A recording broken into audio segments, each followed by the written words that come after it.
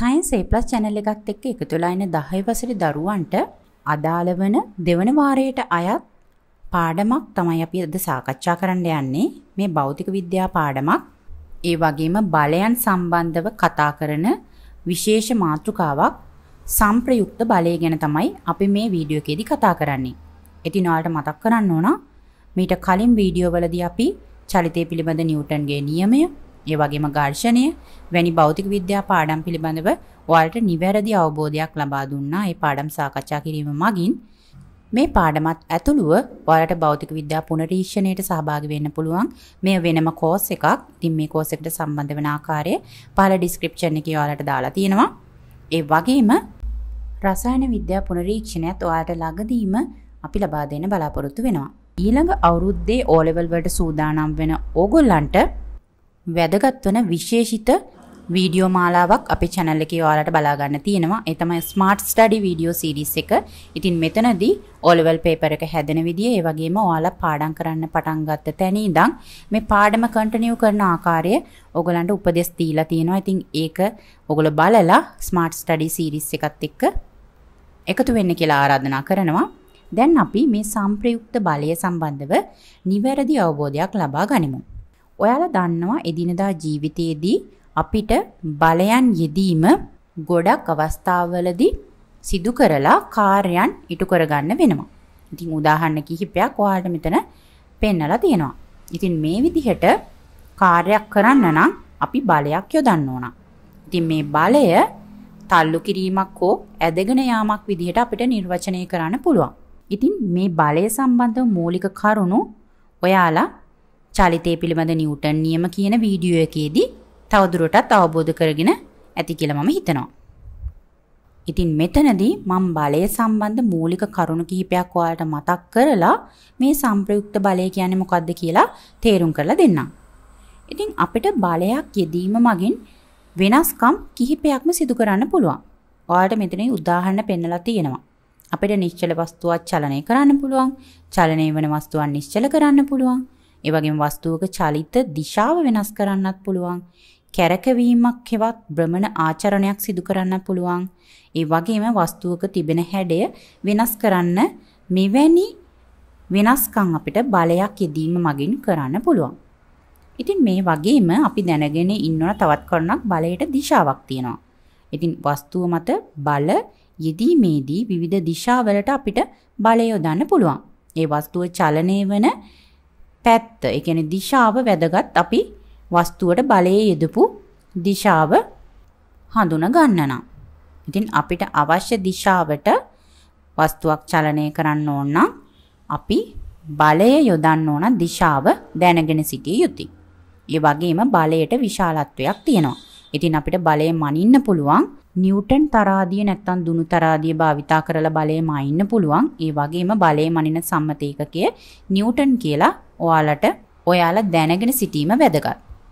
ඉතින් ඒ විදිහට ගත්තාම බලයකට විශාලත්වයක් මෙන්ම දිශාවක් නිශ්චිත දිශාවක් තියෙනවා කියලා ඔයාලා දැනගෙන ඉන්න ඕන. මේ නිසා බලය දාශික රාශියක් කියලා අපි හඳුන ගන්න ඕන. එහෙනම් මේ පාඩමේදී අපි දැනගන්න ඕන මේ බලයන්හි විශාලත්වය ඒ වගේ මේ බලයන් යොදන දිශාව සම්බන්ධව. අපි කාර්යයක් පහසු කර ගැනීමට බලය යොදන ආකාරය ගැන මේ පාඩමේ මුලින්ම අපි අවබෝධය ලබා ගන්න ඕන. ඔයාලා මේ උදාහරණය බලන්න. මේ විදිහට කාර් එකක් තනියම අපිට තල්ලු කරන්න හරි අපහසුයි. අපි කොහොමද මේ කාර්ය පහසු කරගන්නේ? අපිට පුළුවන් කිහිප දෙනෙක්ගේ උදව්ව ලබා ගන්න. එතකොට මේ කාර් එක තල්ලු කරන එක ලොකු අමාරුවක් වෙන්නේ නැහැ. එහෙනම් අපිට කාර්යය පහසු කරගන්න බලයන් කිහිපයක් යොදන්න පුළුවන්. හැබැයි මේ කාර්ය පහසු වෙන්න නම් මේ බලයන් අපි යොදන්න ඕන ආකාරය මේ බල කිහිපයක් යොදනවා නම් ඒක යොදන්න ඕන ආකාරය ගැන අපි හරියට අවබෝධයක් තියෙන්න ඕන. එතකොට තමයි අපිට ඒ කාර්යය නිවැරදිව පහසු කරගන්න පුළුවන් වෙන්නේ. ඔයාලට මෙතන පෙන්නලා තියෙනවා අපිට බලයන් කිහිපයක් යොදන්න පුළුවන් ආකාර. අපිට බලයන් කිහිපයක් එකම පැත්තෙන් යොදන්න පුළුවන්. නැත්තම් දිශා දෙකකින් යොදන්න පුළුවන්. විවිධ දිශාවලින් යොදන්න පුළුවන්. විවිධ කෝණ වලින් යොදන්න පුළුවන්. මේ විදිහට අපිට බලයන් කිහිපයක් වස්තුවකට යොදන්න පුළුවන්.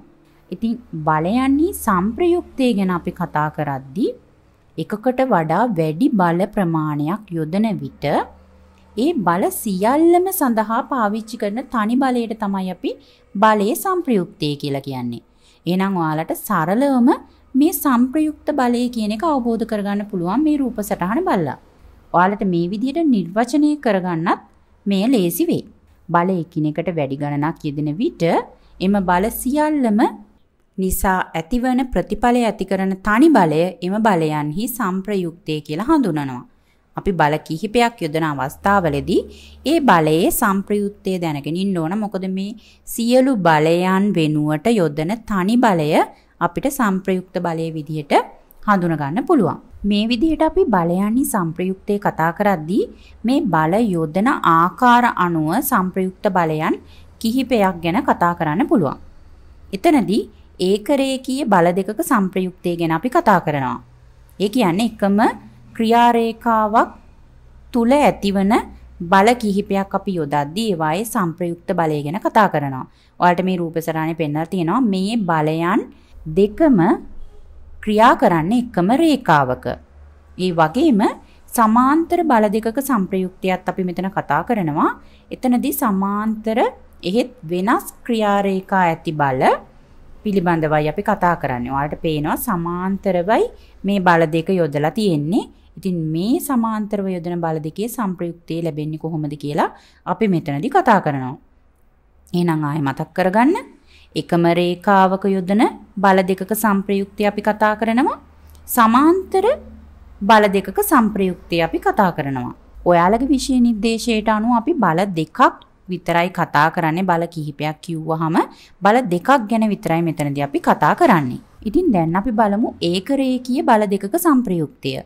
එකම රේඛාවක බල දෙකක් ක්‍රියා කරද්දී මේ වගේ අවස්ථා දෙකකට බෙදන්න පුළුවන්. පළවෙනි අවස්ථාව පෙන්වලා තියෙනවා එකම දිශාවට ක්‍රියා කරන ඒකරේඛීය බලයන්හි සංප්‍රයුක්තය. ඒ කියන්නේ ඔයාලට පේනවා මේම බලයන් දෙකම එකම රේඛාවක ක්‍රියා කරලා තියෙන්නේ. ඒ වගේම එකම දිශාවට තමයි මේ බල දෙක යොදලා තියෙන්නේ. එහෙනම් අපි දැනගන්න ඕන එකම දිශාවට බල දෙකක් එකම රේඛාවක යොදද්දී එහි සංප්‍රයුක්තය මොන වගේද කියලා. දෙවෙනි අවස්ථාව බලන්න.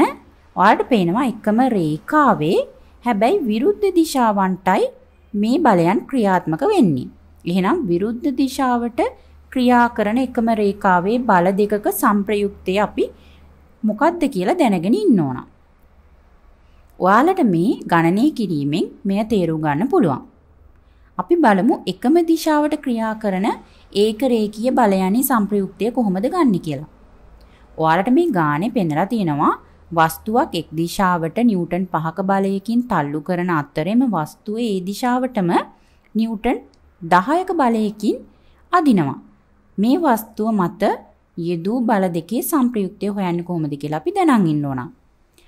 සාමාන්‍යයෙන් එකම දිශාවට බලයන් දෙකක් එකම රේඛාවක යොදනවා නම් අපි එහි සංප්‍රයුක්තය ගන්නේ එම බලයන් දෙක එකතු කිරීම මගින්. ඉතින් අපිට බල දෙකේ සංප්‍රයුක්තය ලැබෙනවා පහ එකතු කිරීම පහ නිව්ටන් 15යි කියලා. ඒ වගේම අපි මෙතනදී පෙන්වන්න ඕන මේ බල සංප්‍රයුක්තය මොන දිශාවටද ක්‍රියා කරන්නේ කියලා. ඉතින් මේ බලයන් දෙකම එකම දිශාවට ක්‍රියා කරන්නේ ඔයාලට බලයේ සංප්‍රයුක්ත බලයේ දිශාව පෙන්වලා තියෙනවා. එය නැගෙනහිර දිශාවට ක්‍රියා කරනවා. ඉතින් මේ විදිහට අපි වස්තුවක් ඇදගෙන යද්දී එය පහසුවෙන් කරන්න පුළුවන් එකම දිශාවකට එම බල කිහිපෙම යෙදීමෙන්. ඉතින් ඔයාලට මේ ගණනය කිරීමෙනුත් තේරෙනවා මේ බල සියල්ලම එකතු වෙලා සංප්‍රයුක්ත බලයක් හැදෙනවා. එහෙනම් අපිට වැඩක් පහසු කරන්න පුළුවන් එකම පැත්තට බල කිහිපයක් යෙදීම මගින්. මේ වගේ උදාහරණයක් ඔයාලා දැකලා ඇති. මාළු දැල් අදිද්දි එකම පැත්තට ඒක රේඛීයව බලයන් කිහිපයක් යොදනවා. එතකොට ඒ කාර්යය පහසු වෙනවා. ඉතින් ඔයාලට මේ විදිහට සාරාංශගත කරලා තියෙනවා. ඒක රේඛීයව එකම දිශාවට බල දෙකක් ක්‍රියා කරද්දී එම බල දෙකේම සංප්‍රයුක්තය එම බල දෙකෙහි එකතුවට සමාන වෙනවා කියලා. ඒ වගේම දැන් අපි කතා කරමු විරුද්ධ දිශාවන්ට ක්‍රියා කරන ඒක රේඛීය බලයන්ගේ සංප්‍රයුක්තය.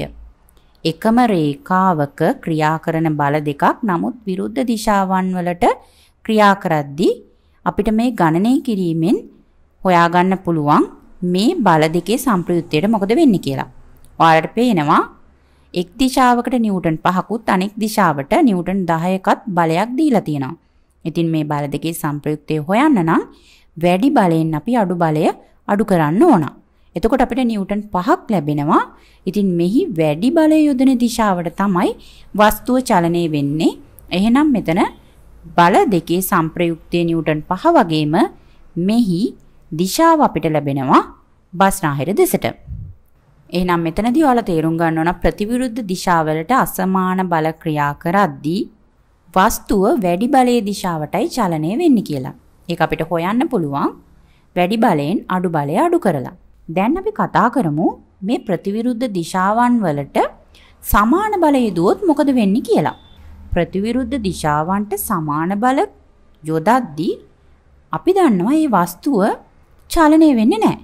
මොකද එක පැත්තකින් බලයක් යොදද්දී ඒට සමානම අනික් පැත්තෙනුත් බලයක් යොදද්දී ඒ වස්තුවට චලනය වෙන්න බෑ. එහෙනම් මේ බල දෙකේ සංප්‍රයුක්තය බිඳුව තමයි ලැබෙන්නේ. ඔයාලට ගණනය කිරීමකුණුත් ඒක පෙන්නලා තියෙනවා. මෙතන නිව්ටන් 5ක සමාන බල දෙකක් ප්‍රතිවිරුද්ධ දිශාවට ඒක රේඛීයව දීලා තියෙනවා. එහෙනම් අපිට පුළුවන් මෙහි බලයන්හි වෙනසෙන් සංප්‍රයුක්තය හොයාගන්න. නමුත් අපි දන්නවා බලයන් දෙකම සමාන නිසා ඒ සංප්‍රයුක්තය බිඳුවයි. එහෙනම් මෙම වස්තුව සමතුලිතතාවයේ පවතින්නේ. මෙහිදී දෙපසට බල සමාන වී සංප්‍රයුක්තය ශුන්‍ය වෙනවා කියලා අපි කියනවා. ඉතින් ඔයාලට මෙතන පේනවා සාරාංශයක් විදිහට ගත්තොත් වස්තුවක් මත විරුද්ධ අතට ඒකරේකීයව බල යොදන විට ඒ බල දෙක අසමාන නම් සංප්‍රයුක්ත බලය බල දෙකේ වෙනසින් ලැබෙනවා කියලා.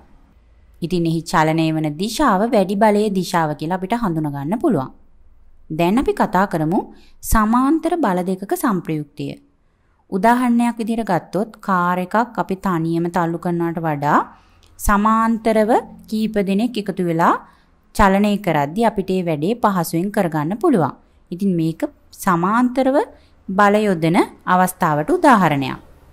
ඉතින් සමාන්තරව අපි බල දෙකක් යොදනවා නම් එහි සංප්‍රයුක්තය හොයාගන්න අපි මේ විදිහට ගණනය කිරීමක් කරමු. ඔයාලට පේනවා මේ සමාන්තර බල දෙකම එකම දිශාවකට තමයි යොදලා තියෙන්නේ. එහෙනම් අපිට මේ බල දෙකේ සංප්‍රයුක්තය හොයාගන්න ඒ බල දෙක එකතු කරන්න පුළුවන්. දිශාව එතකොට මේ පෙන්නලා තියෙන දිශාව. මෙහි නැගෙනහිර දිශාව කියලා ඔයාලට අඳුන ගන්න පුළුවන්. එහෙනම් අපිට සමාන්තරව එකම දිශාවට ක්‍රියා කරන බල දෙකක සංප්‍රයුක්තය සෙවීමට ඒ බල එකතු කරන්න ඕන. ඉතින් මේකේ අනිත් පැත්තම තමයි ප්‍රතිවිරුද්ධ දිශාවලට සමාන්තර බල යොදනවා නම් අපිට විශාල බලයෙන් කුඩා බලය අඩු කරලා දිශාව විශාල බලයේ තියෙන දිශාව කියලා හඳුනා ගන්න පුළුවන්. දැන් අපි කතා කරමු මේ සමාන්තරව නැත්තම් ඒකරේඛීයව නොවන බල දෙකක්. ඒ කියන්නේ ආනතව බල දෙකක් අපි යෙදුවොත් ඒ බල දෙකේ සංප්‍රයුක්තය ලබා ගන්න කොහොමද කියලා. ඔයාලට පේනවා මේ Q කියන බලය සහ R කියන බලය යොදලා තියෙන්නේ ආනතව.